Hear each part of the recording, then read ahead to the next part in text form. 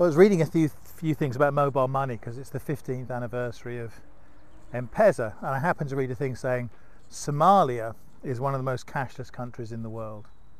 And th- I have to say, this is no surprise to me because I remember a few years ago in Minnesota, actually, I had a taxi driver who was of Somali origin, and he asked me what I was doing, and I said, "Well, I'm going to give this talk about digital money," and he goes, "Oh."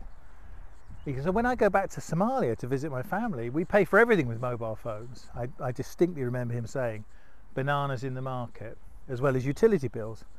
He thought it was odd you couldn't do this in America. And he said, it's amazing that uh, we've done this.